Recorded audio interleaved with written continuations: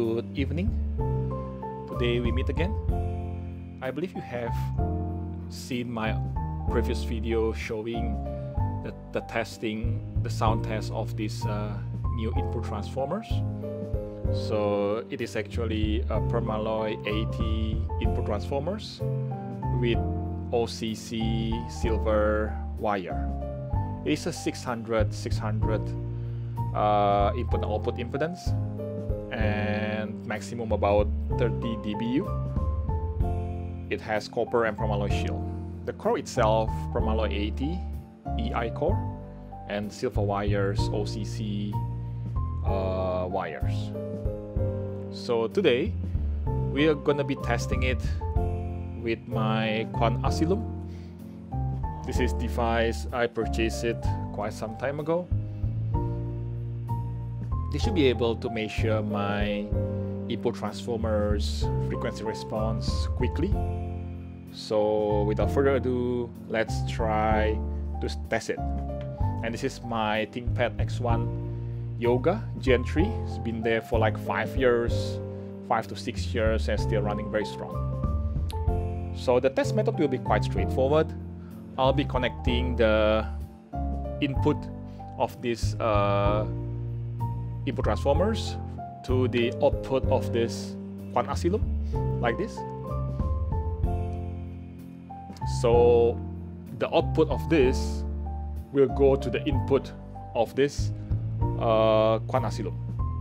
So I'll put thing like 1.5k resistor here as a load.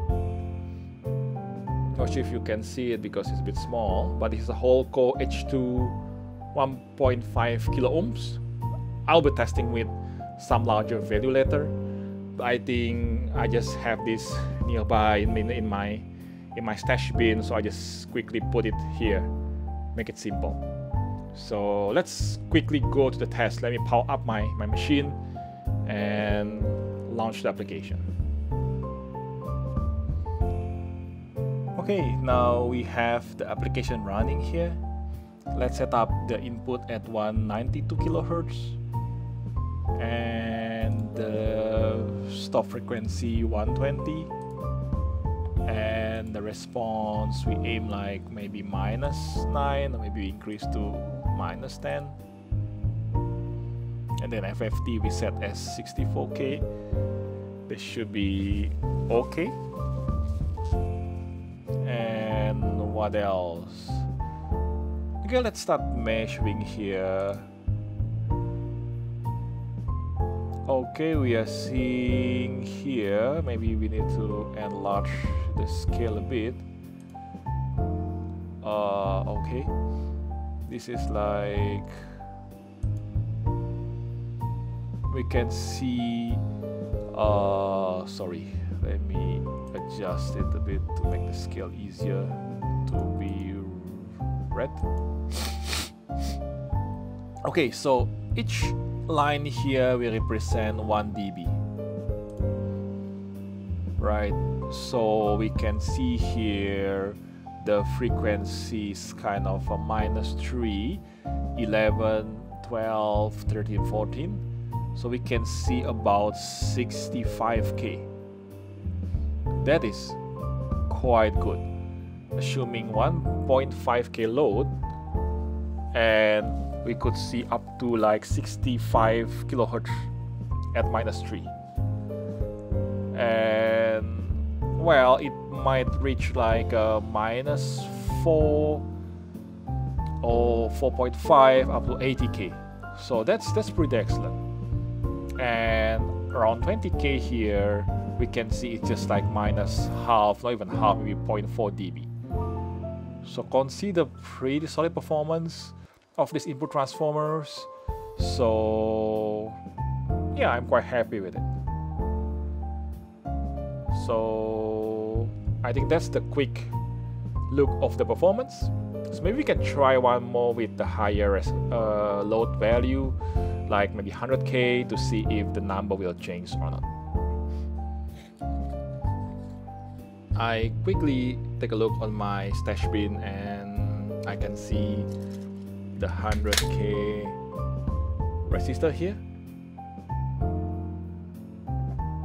I think it should be okay. We can quickly use these resistors and, and install in this, right, to see if the performance will change. The process will be quite straightforward. We'll be removing these resistors quickly.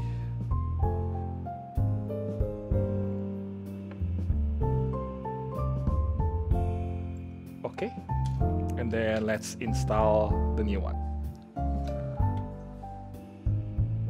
Let's install the new one.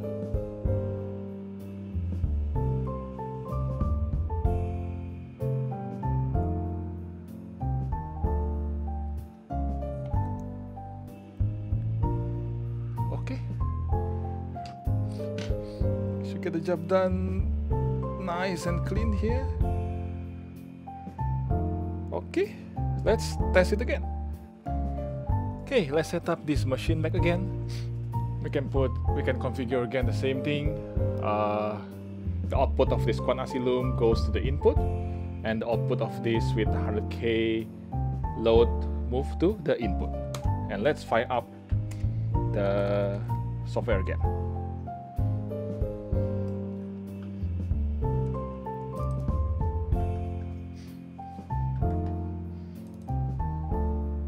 Okay. Let me start the recording. Okay. We are good to go. Request spawn, everything done. So run. Boom. Okay. We can see now minus 3 dB is still about 65k, maybe slightly lower. Now we can see a minus 3 going to 62.50k. Right, slight changes, but not so much. So means that the performance of the response might vary depends on your load impedance.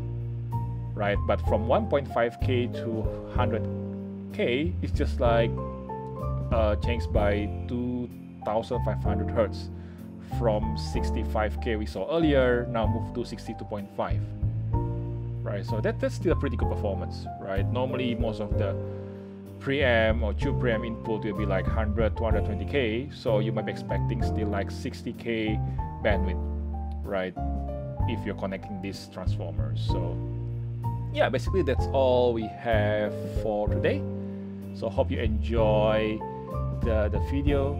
So again although I like to hear the performance but still we need to also technically aware on how or why a transformer is performing not only from listening tests.